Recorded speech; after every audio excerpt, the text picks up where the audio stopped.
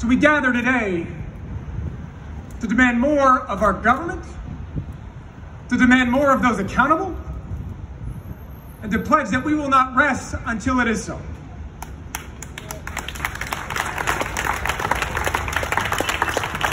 That we address the ills of a 94 crime bill that led to mass incarceration and private prisons and the incarceration of a generation of African American men. That we call out the systemic inequities of a Fair Housing Act and a GI Bill and the Fair Labor Standards Act and the structures that stand on top of it.